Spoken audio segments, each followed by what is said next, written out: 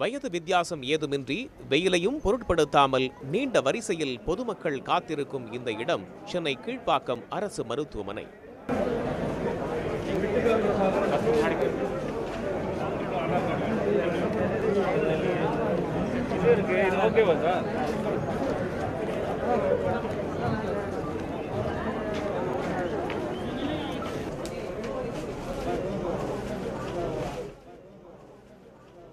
திங்கட்கிழமை முதல் தனியார் மருத்துவமனையில் உள்ள நோயாளிகளுக்காக ரெம்டெசிவிர் மருந்து கீழ்ப்பாக்கம் மருத்துவமனையில் விற்பனை செய்யப்படுகிறது.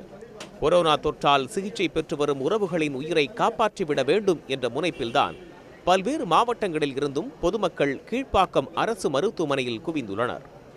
நான் வந்து கடலூர்லேருந்து வந்துட்டுருக்கேன். காலையில் மூணு மணிக்கு வந்தேன். நான் மூணு நாளாக அலைஞ்சிட்ருக்கேன் கடலூர் பாண்டிச்சேரி எங்கேயுமே கிடைக்கல. நேற்றுக்கு வாட்ஸ்அப் செய்தி மூலியமாக தான் இங்கே வந்தேன். இங்கே வந்து உடனே வாங்கிட்டு போய் மருந்து போடலான்னு பார்த்தா இங்கே வந்து இன்னமும் இப்போ தான் கவுண்டர் ஓப்பன் பண்ணியிருக்காங்க. மருந்து பதினொரு மணிக்கு தான் வருங்கிறாங்க.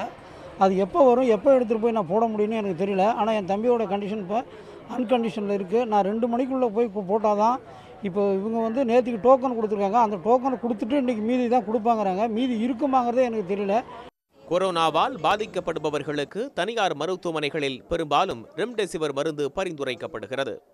தனியார் மருந்தகங்களில் ரெம்டெசிவர் கிடைக்காமல் அல்லல் படும் நோயாளிகளின் சூழலை பயன்படுத்தி ஆயிரத்து ஐநூறு ரூபாய் மதிப்பிலான ஒரு டோஸ் ரெம்டெசிவரை பத்தாயிரம் முதல் பதினைந்தாயிரம் ரூபாய் வரை விற்பனை செய்வதாக பொதுமக்கள் வேதனையுடன் தெரிவிக்கின்றனர். வெளியே நாங்கள் ஒரு ஒரு இடத்துக்கு ஃபோன் பண்ணி கேட்கும் போதோ என்ன சொல்கிறாங்க இங்கே மெடிசன் இருக்குது சார் இன்றைக்கி ஈவினிங் வந்துடும் இல்லை நாளைக்கு மார்னிங் வந்துடும் சார் மெடிசனுடைய ரேட் வந்து ஃபைவ் தௌசண்ட்லேருந்து டென் ஃபிஃப்டீன் அப்படின்னு சொல்லிட்டு இருக்காங்க. ஒரு டோஸ் எனக்கு ஆறு டோஸ் தேவைப்படுது. இப்போ நான் ஃபைவ் தௌசண்ட் கொடுத்து ஒரு டோஸ் வாங்கினா இப்போ தேர்ட்டி ஃபைவ் தௌசண்ட் கிட்ட என்னால் சிக்ஸ் டோஸ் கிட்ட வாங்கணும் நான். இப்போ லாஸ்ட் ஃபைவ் டேஸாக நான் இருக்கேன். நேற்று இங்கே தரேன் அப்படின்னாங்க. நேற்று நான் மதியானம் வந்தப்போ இங்கே தந்துட்டு இருந்தாங்க. மிஞ்சி போனால் ஒரு இருபத்தஞ்சிலேருந்து முப்பது பேர் தந்திருப்பாங்க. மற்றபடி அதிகமாக தரல.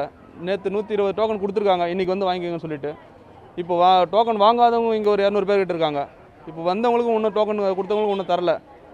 இப்போது டோசேஜ் இல்லாமல் இப்போ நாலு நாளாக இப்போ ஹாஸ்பிட்டலில் இருக்கார் அவர். டாக்டரை கேட்டால் நீங்கள் எப்படியாவது மெடிசன் வாங்கிட்டு வாங்க அப்படின்றாங்க. டாக்டருக்கு அங்கே ஹாஸ்பிட்டலுக்கே தராதப்போ எங்களுக்கு எப்படி தருவாங்கன்னு தெரியல.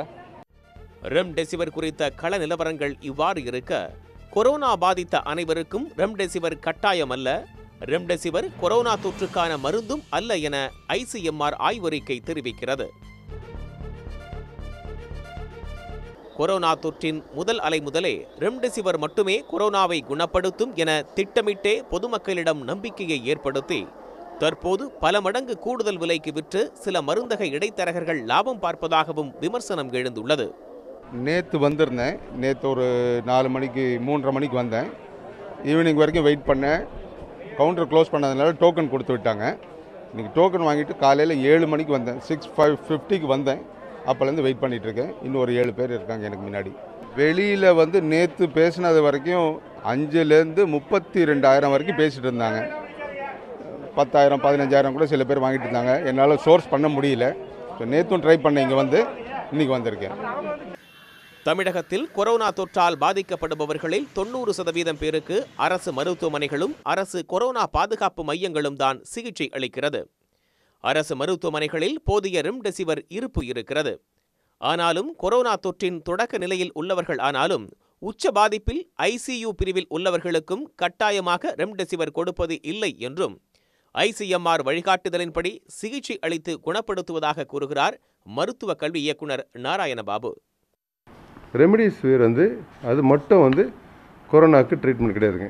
ஃபஸ்ட்டு வந்து ஆக்சிஜன் தாங்க ஆக்சிஜன் தான் மெடிசன் கொரோனாக்கு.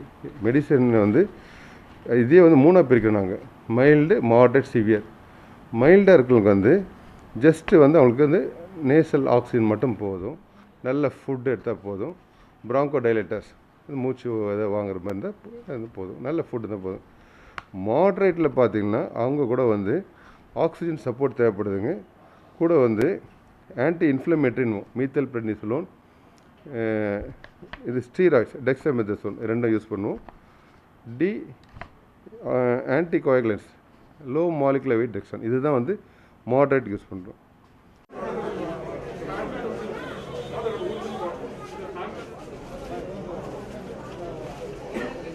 ரெம்டெசிவர் மருந்து செலுத்திக் கொண்டாலே கொரோனா குணமாகிவிடும் என இடைத்தரகர்களின் மாய வலையில் சிக்கி பணத்தை இழக்க வேண்டாம் என எச்சரிக்கும் மருத்துவர்கள். அங்கீகரிக்கப்பட்ட மருத்துவர்கள் அறிவுறுத்தினால் மட்டும் ரெம்டெசிவர் செலுத்திக் கொள்ள வேண்டும் என்றும் எச்சரிக்கின்றனர். சன் செய்திகளுக்காக ஒளிப்பதிவாளர் டேவிட் மற்றும் செய்தியாளர் சண்முகப்பிரியன். உடனுக்குடன் செய்திகளை தெரிந்து கொள்ள சன் நியூஸ் பெல் ஐகானை கிளிக் பண்ணுங்க.